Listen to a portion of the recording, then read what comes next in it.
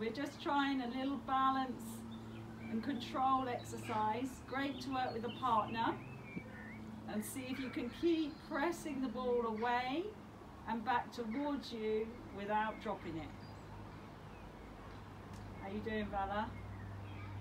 You okay? Yeah. One more time. Well done.